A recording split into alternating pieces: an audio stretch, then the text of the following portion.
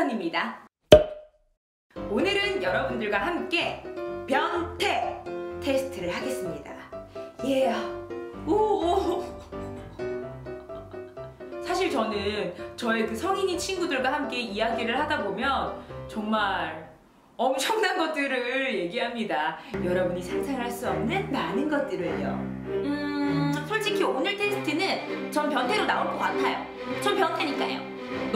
무 솔직하고 쓸데없는 말을 많이 했군요. 자, 그러면 지금부터 채채와 함께 변태 테스트 하러 가시죠.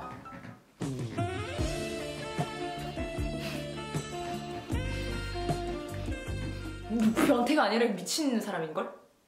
1번 선물 포장지를 보관한다 평균적으로 저는 선물 포장지를 보관하지 않습니다 X 2번 이불이 두껍지 않으면 잠을 못 잔다 네!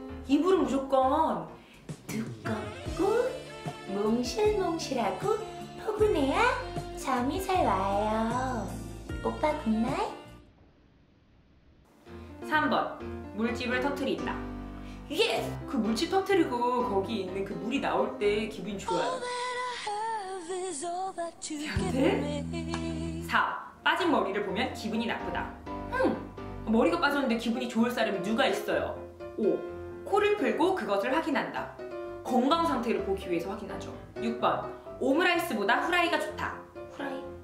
네. 그 반숙을 먹잖아요. 그러면은 그게 노랗고 야들야들하고 촉촉해요.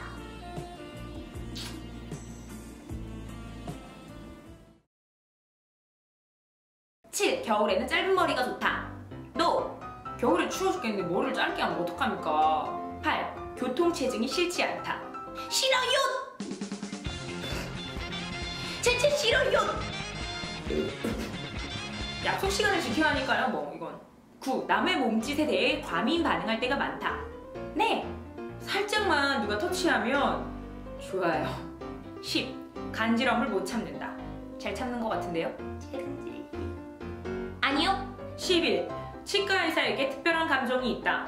모르는 사람인데 어떻게 특별한 감정이 생겨요? NO. 12. 부스럼은 떼어낸다. 네, 부스럼 다 긁어요. 긁어 부스럼이란 말이 저한테 나온 말이에요. 13. 연필이 뾰족하지 않으면 싫다. 아니요. 뭐 뾰족하거나 말거나 관심이 없습니다. 14. 주사 맞는 것이 좋다. 주사 아뽀. 싫어요. 15. 입술을 자주 벗긴다. 입술을 어떻게 벗기죠? 이렇게 벗기나요?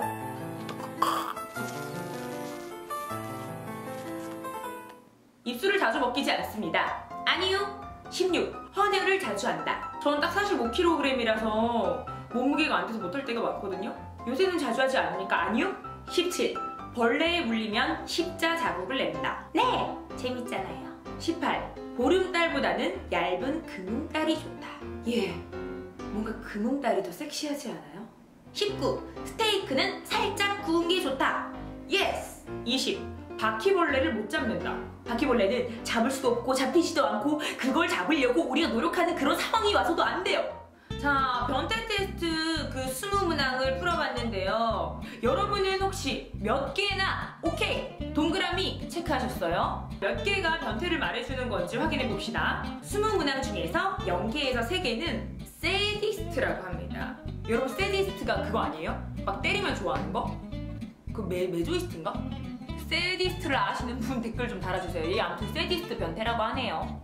20문항 중에서 4개에서 7개는 아주 지극히 평범한 사람이라고 합니다. 그리고요, 8개에서 13개 문항의 동그라미를 하신 분은 요주의 결벽인이라고 합니다. 그리고 14개 그 이상은 변태라고 해요. 변태. 우와! 우와! 와, 저 지금 결과 봤거든요? 여러분! 저는요! 변태가 아니에요! 전 제가 변태이길 바란 건 아니지만 지금까지 변태인 줄 알았거든요. 오늘도 치치TV가 재밌었다면 구독하기와 다른 영상 보러 가기 딱딱 눌러주시고요. 우리는 다음 시간에 다른 영상으로 만나요.